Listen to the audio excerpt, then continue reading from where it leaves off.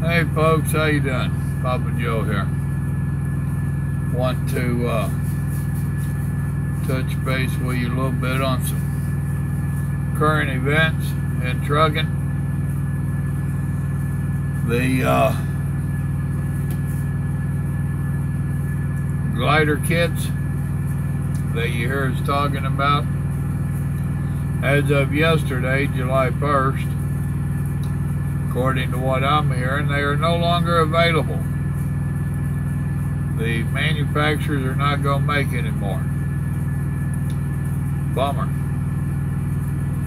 Uh, I've been hearing for a couple years that the government was going to cut them back on how many they could make. And they finally did uh, the 300 and some odd per manufacturer per year. So uh, the manufacturers are saying, you know, that ain't enough to make it worthwhile. For those that don't know, a glider kit is a complete new truck except the motor. You have everything for a new truck, transmission, drive line, everything except the motor people would buy them and rebuild an old motor and put it in there. That way they didn't have to deal with all the emissions and pollutions and ELDs and different stuff. Some of them still had to run ELDs, but uh, but anyhow, they're no longer going to be available. And if you don't have one ordered, you Ain't gonna get the order. It's over with. Those of us that track anything happening in the trucking industry, we're not surprised. Are you? You know, it was a back door to keep Big Brother from controlling us in one way or another, keeping them out of our pockets, and they don't like that. They want to be in control. So they just figured out another way to do it. Same thing with the gun control, the Second Amendment. What they've been trying ain't been working, but they're going to keep trying till they figure out a way to get our guns or our ammunition. If you don't have a stockpile of ammunition, all you got is a very expensive club. So, it is what it is. That's trucking for you. The uh, the thing is, is it's going to hurt some little mom and pops because they don't have all this DEF stuff, all this pollution, and all this nonsense they were shooting for. It's not perfected. You remember a few months ago, my truck was down for like three weeks because of DEF nonsense. Uh, and I was telling you in that video, there were several people in there that was down with DEF stuff. They don't have it perfected. The government put an unrealistic timeline on them. They thought that it was a good timeline, and the uh, manufacturing brains that work on all that didn't have enough time to figure it all out. Go figure. But it all sounded good on paper. And did like this logbook stuff, these ELDs, it all sounded good on paper. But when it comes to applying it and working with it, it has its faults. Once again, it was them not researching. People making laws and rules in an industry that they don't understand. And it looked good on paper, so it must work. Uh, here's something I want to read to you. Rules controlling truck driver time said to be relaxed. This is out of Opal, Virginia. Truck driver Lucas Francis was forced to hit the brakes just five minutes from his house in Pennsylvania. He had reached the maximum number of hours in a day he's allowed to be on duty. Francis couldn't leave the truck unattended, so he parked and climbed, climbed into the sleeper berth in the back of the cab. Ten hours would have to pass before he could start driving again. You don't want even a one minute violation, said Francis, a 39 year old uh, Haiti immigrant, recalling his dilemma during a break at a truck stop in this small crossroad town southwest of Washington. The Transportation Department is moving to relax the federal regulations that require Francis to pull over. A long sought goal of the trucking industry and a move that would highlight its influence with the Trump administration. Interest groups that represent motor carriers and truck drivers have lobbied for revisions, they say, would work make the rigid hours of service rules more flexible. But highway safety advocates are warning the contemplated changes would dangerously weaken the regulations, resulting in driver, truckers putting in even longer days at a time when they say driver fatigue is such a serious problem. They point to new government data that shows fatal crashes involving trucks weighing as much as 80,000 pounds have, have increased. I think flexibility is a code word for deregulation, said Kathy, excuse me, Kathy Chase president of Advocates for Highway and Auto Safety, an alliance of insurance companies and consumer public health and safety groups. She said the hours of service requirements, which permit drivers to drive up to 11 hours each day, are already exceedingly liberal in their estimate. In their estima- estimation.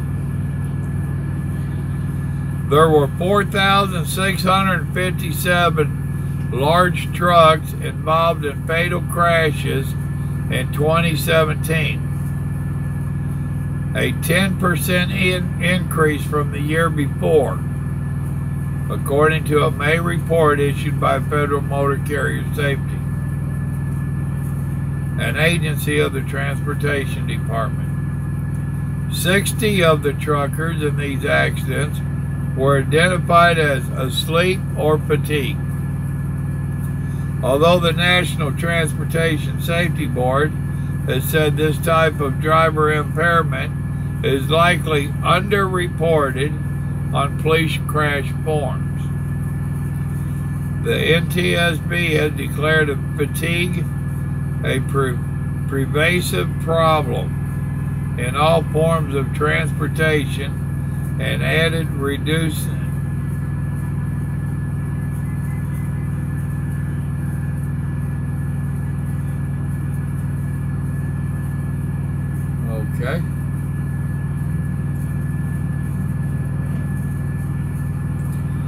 Sorry about that. Uh, and added reducing fatigue related accidents to its 2019 to 2020 most wanted list of safety improvements. A groundbreaking study by the Transportation Department more than a decade ago reported 13% of truck drivers involved in crashes that resulted in fatalities or injuries were fatigued at the time of the accident. The trucking industry developed a strong relationship with President Donald Trump, imagine that, who had made rolling back layers of regulation oversight a top priority. At least a dozen transportation safety rules under development already, already ad adopted were repelled, withdrawn, delayed, or put on the back burner during Trump's first year in office. First of all, this administration is not as aggressive as the prior, said Bill Sullivan, the top lobbyist for the powerful American Trucking Association, whose members include the nation's largest motor carriers. Imagine that. Gotta get my phone plugged back in. Uh, whose members include the nation's largest motor carriers and trucking manufacturing companies.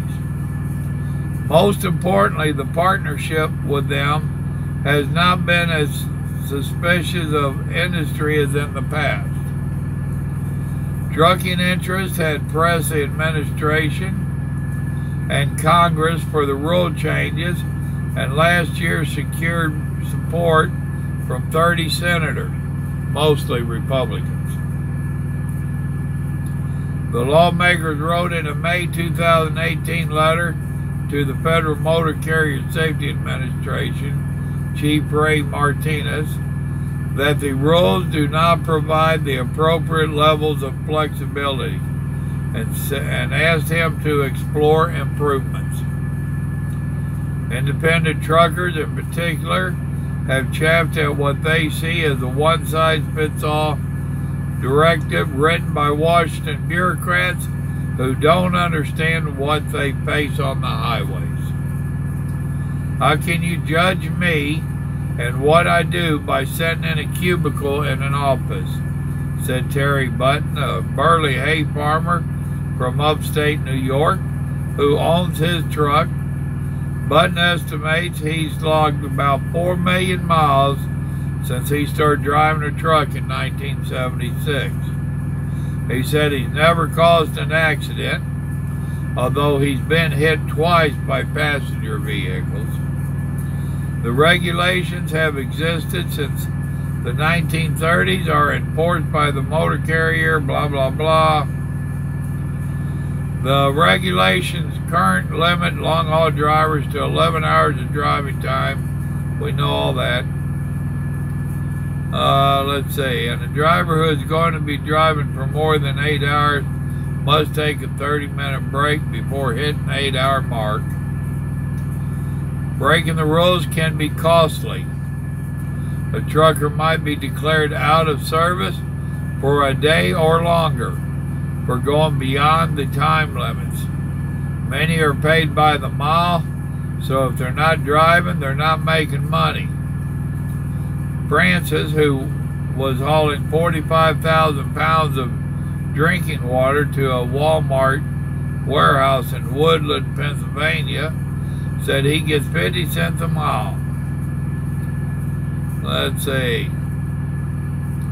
Off duty and on duty time for most truckers is recorded automatically and precisely by electronic logging devices or ELDs. Responding to a congressional directive, the Obama administration set in motion the mandated use of ELDs as of December 2017, a regulatory requirement that Trump has not overturned. Paper logs could be fudged pretty easily, but not the ELD, which is wired to the truck's engine and has a display screen visible to the driver.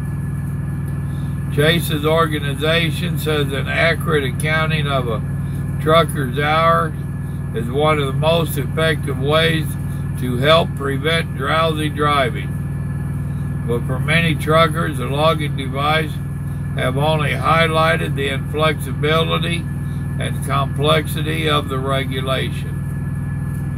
If you run out of time in the middle of the George Washington Bridge, are you just going to pull over and park? said Button, referring to the world's busiest span connecting New Jersey and New York.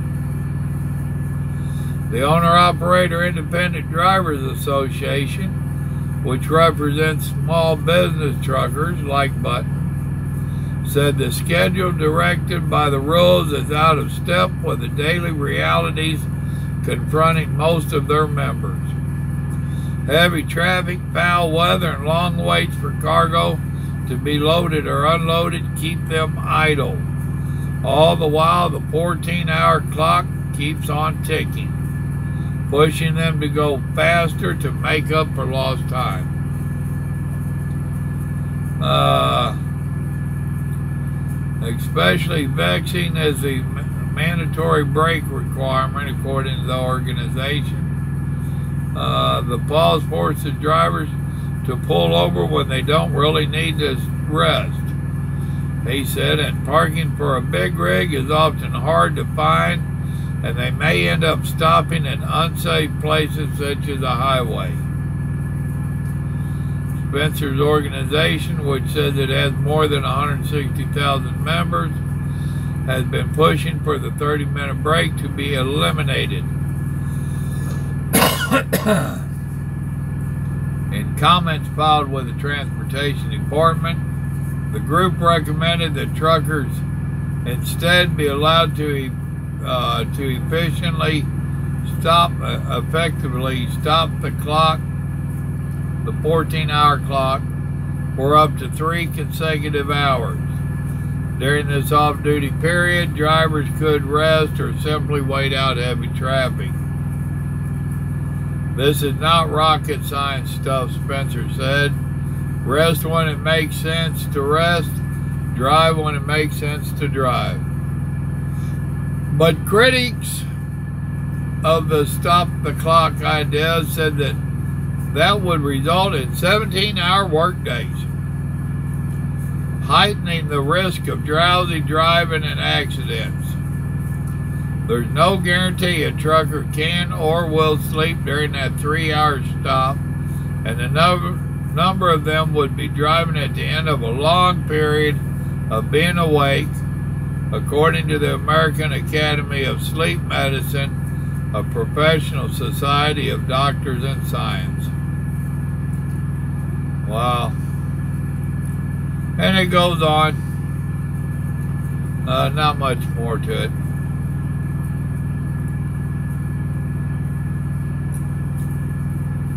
You know, doing away with a 30 minute break is a smart idea. It hurts a bunch of us. Anybody that's paying attention.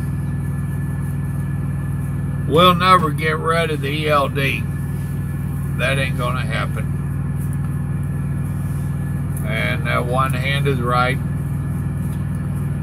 bunch of yahoos up there that ain't got a clue about trucking.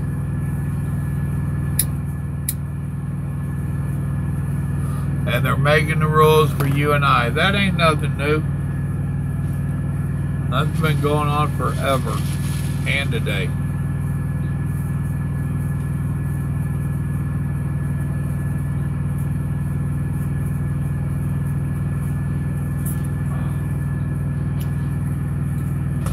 the uh,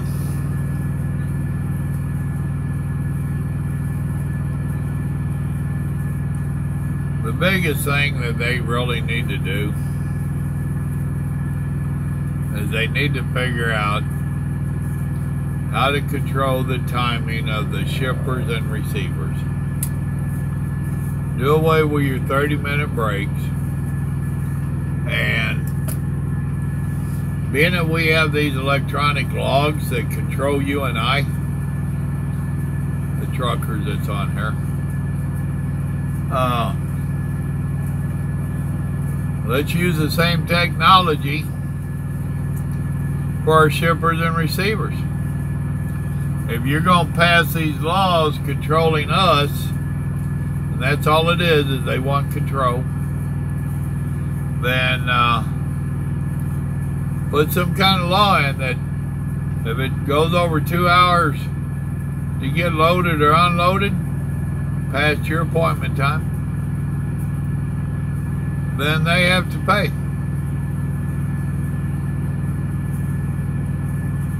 Now, what's wrong with that picture? For one thing, it's giving the government too much control. But now, not only are they controlling us, now they can control the companies. if this is implemented and they did such a thing, who's going to say how much they need to pay? Who's going to enforce it?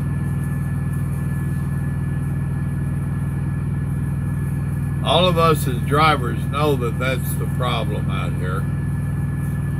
And there ain't no one size fits all on fixing it.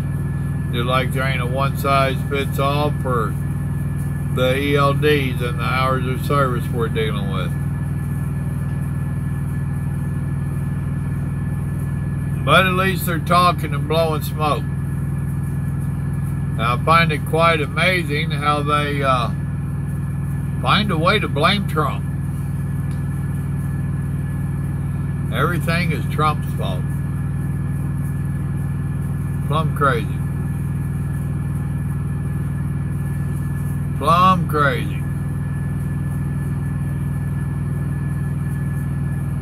Uh, on the brighter side and an improvement, I was also reading where uh,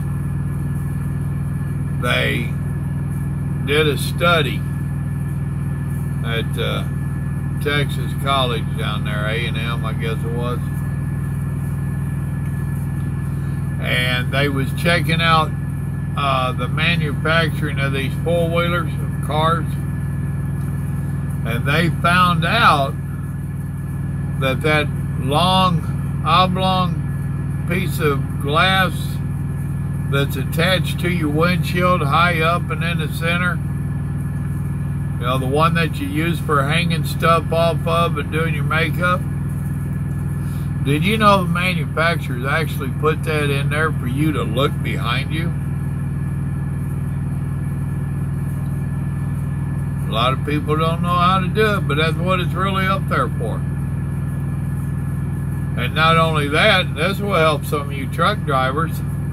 They also found out that them two purdy things that they put on each door, that really isn't just cosmetics. They said that will actually let you see what's coming up behind you and beside you so that you don't just pull over in front of people. It's amazing. If you don't already know how to use those three devices, it'd be nice if you start trying it. It might help you. Might help the rest of us. With that, I'm going to let you go. Remember, God loves you. So do I. Have a blessed day. Oh, that article I was reading. Go to the Facebook page for Simple Living with Papa Joe. I put it over there. You can go over there and find it, click on it, read it your own self. Y'all be safe out there now. Bye.